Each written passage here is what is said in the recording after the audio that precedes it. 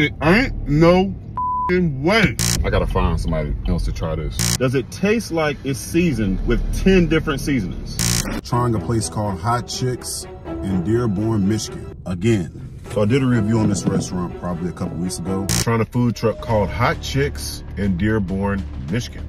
The owner did not like it. Hell, the whole community of Dearborn did not like it. When I say they came from my they came from my it was really beautiful seeing you guys come together and, and, and bash me in support of Hot Chicks. No problem with that. But just let you know, I don't give a now, let me tell you why I'm back.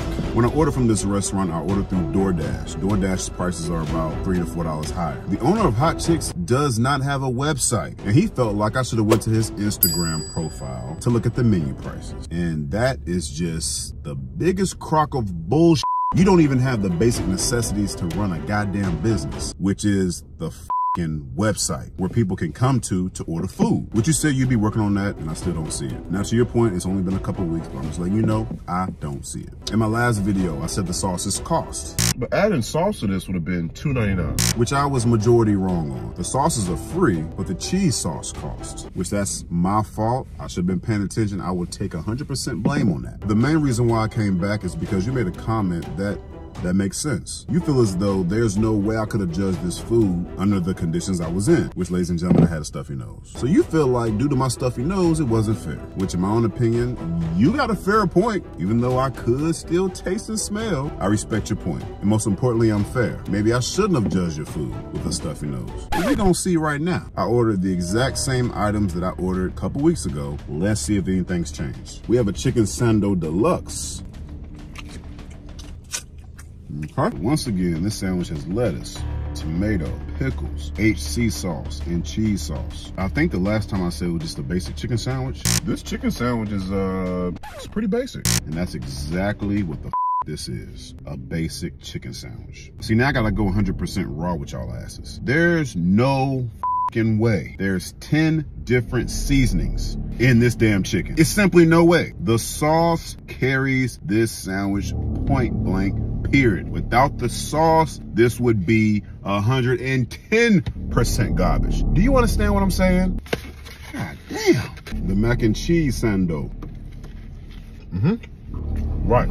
So you can get this sandwich, no heat, mild, medium heat, hot, and inferno. So we got a mild chicken patty with mac and cheese on a toasted bun. This chicken tastes a lot better than the original chicken with no heat. And I think I said this the last time. I'm sure this tastes better because there's actually some heat to it. When it comes to the mac and cheese, mm-mm. It's a little sweet, but that sweetness may be coming from the chicken. But all in all, this sandwich is good. This is the chicken wrap. The same exact chicken wrap I had the last time.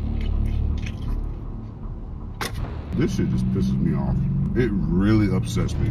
So I'm 100%, right? Not sick, no sniffles, no nothing. This is the exact same chicken wrap that I had the last time. It's no different. The chicken is mid. The sauce, once again, carries this sandwich. Without the sauce, the sandwich would be trash. Trash. Trash. No, these are the chicken fries. The same chicken fries I had last time with no sauce. The sauce is right here, but I do want to try this by itself to see, does this taste like that 10 seasoning bull that you've been talking about? It ain't, it ain't no way. There's 10 different seasonings on this motherfucking chicken. It ain't no way. Bro, this is just fried chicken with, with parsley. We got some sauce, HC sauce on the side. The sauce is decent. It's like a ketchup, a ketchup mayo based sauce. I wish it was a little bit sweeter, but it makes the chicken fries a hell of a lot better than what they are right now. Oh yeah, you got me pissed off now. I low-key want to just grab a random person so they can try. I'm sorry, y'all. I gotta find somebody else to try this. Y'all will not make me look like a fool out here. Hey, how you doing? Are you hungry? I'm doing this project, right? Where I'm eating a restaurant that I reviewed before. And I want you to try this chicken and let me know how it tastes to you. No, ma'am, it's not. Just take a bite out of that. Kind of like let it marinate a little bit, try it a little bit. Does it taste like it's seasoned with 10 different seasonings? No? Thank you. You can have it. Uh-uh. You don't want it? Okay.